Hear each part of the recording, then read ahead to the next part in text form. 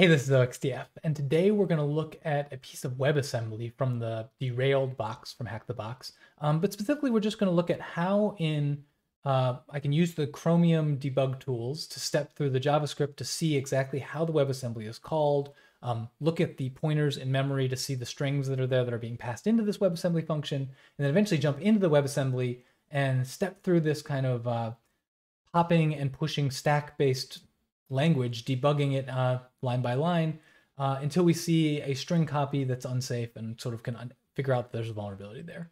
So um, even if you haven't done derailed, it still might be an interesting way to look at WebAssembly. And uh, yeah, let's go ahead and jump in. All right, so let's take a look at this application. Um, we've got this clip notes application. I've already log created a user and logged in. Um, I can create a clip note, um, you know, like this, please subscribe and create a clip note here and we will view it just fine. You can see the author is 0xdf, uh, it was created on such and such date. Um, what we want to look at and what we found, you know, there's details of this in the full blog post for solving this box, but um, if we go to sources, uh, page 113, the, the page we're on, in that page, we have some JavaScript down here that is going to get the clip note uh, raw and then it's going to call load clip note and it's going to pass it. Let's see. Um, it's going to basically get this window. It's going to create the editor, which is this thing down here.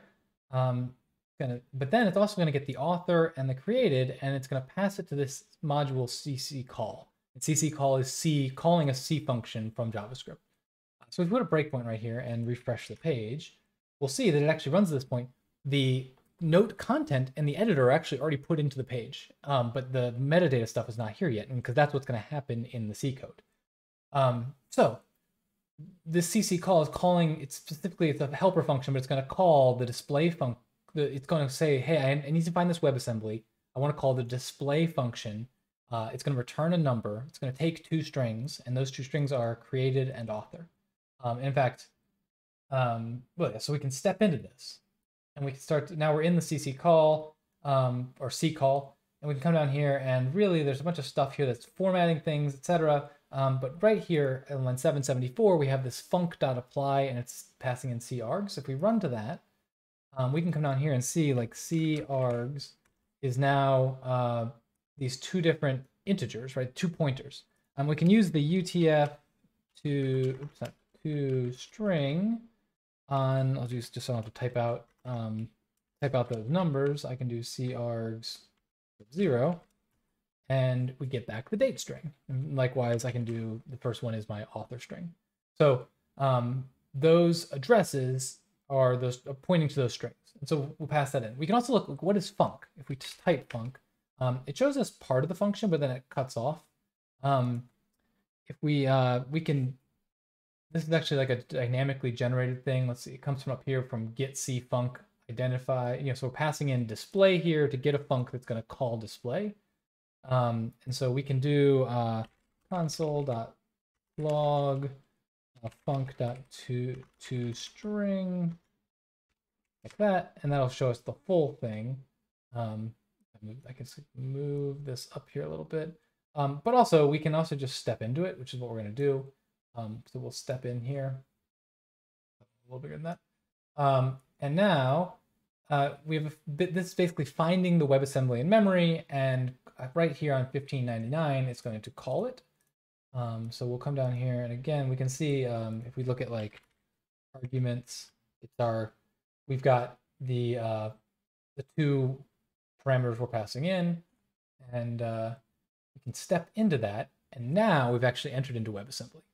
Um, so if we look up here a little bit, we can see this is uh, on OX1BB. We've got function number two being called. It's exported under the name display. So that's how we called it. We got in here by display. Um, it takes two parameters, uh, var0 and var1, and it returns an integer as well. And let's see. It then defines a bunch of variables, so 39 variables here. Um, and then this is where the code actually starts on OX1BE. Um, WebAssembly is very stack based. Um, you can see over here we have, uh, let's see, this okay, here we go.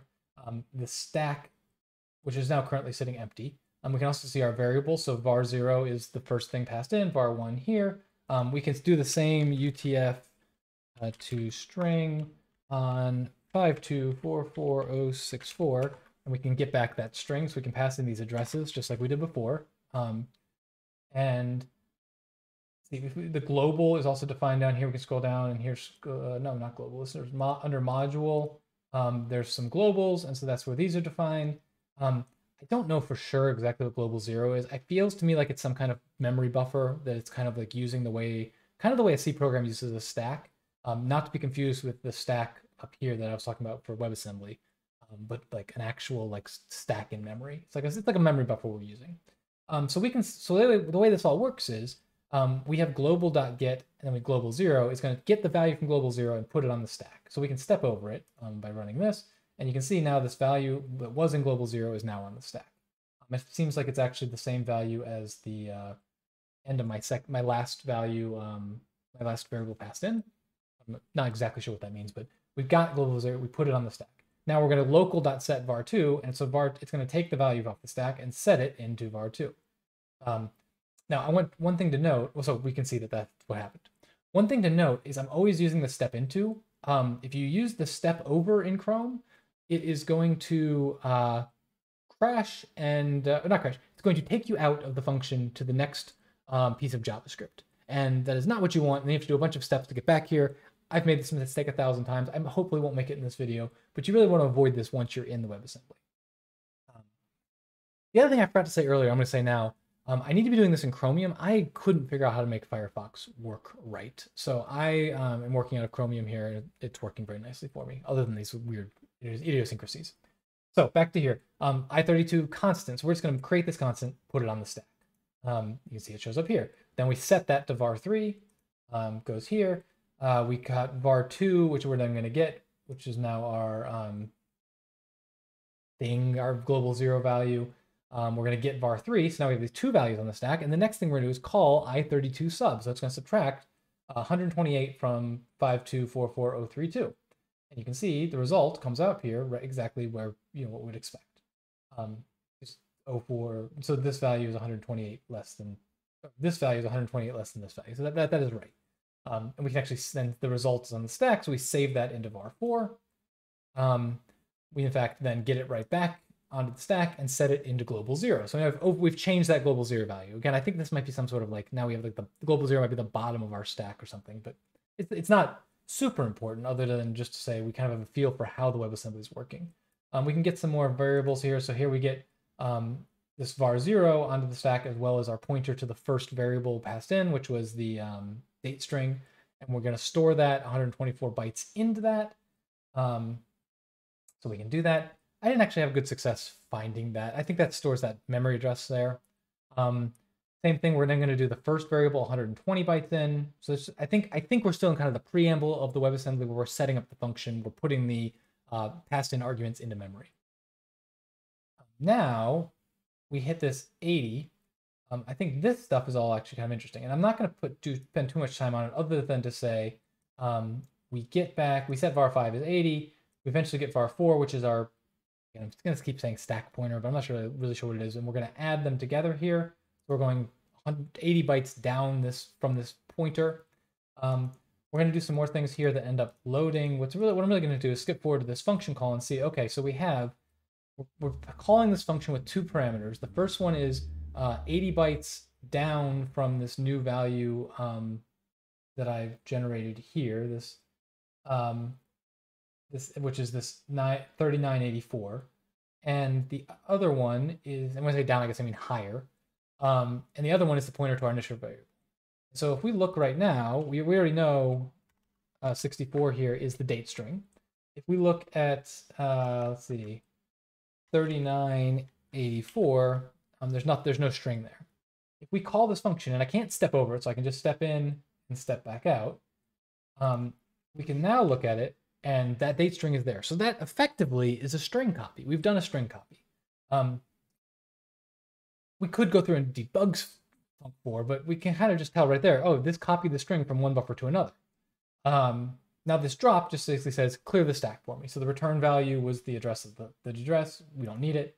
Um, now we get the variable 32 and we do roughly the same thing from the same. So now instead of going uh, 80 bytes higher in value or lower on the stack, um, we're going 32 bytes, um, which if you've solved derailed, you'll recognize like 80 and 32, that's 48 bytes apart. That is the distance to the overflow. So um, we've done the same kind of thing here now where we've got, uh, this time we're calling uh, 3936. So that's, we were at 3984 for the first one. Now we're copying the second variable into 3936. And so we can do the same kind of thing here. Uh, put a 36 here, it's empty. If we step in, step out, and now we've copied my username.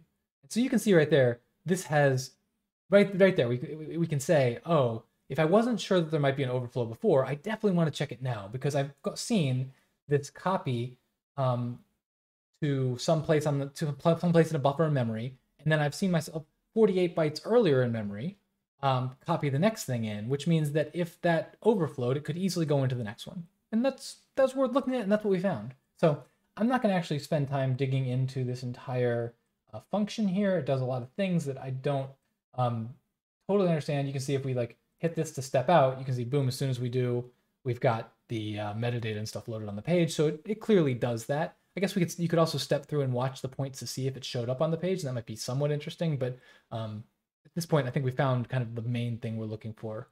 Um, I had really hoped, uh, I have a Hacky Easter video where I use a Ghidra plugin to turn WebAssembly into um, C-like code that can be loaded in Ghidra and it gives you the disassembly of it. And it worked really well there. It didn't work on this one and it crashed. I was pretty disappointed. I thought that would be a really neat thing to show. Um, so I'll probably, once this box retired, I'll probably create an issue over there on their GitHub and see if any chance they want to try to figure out what's wrong and try to fix it, because that would be cool to have.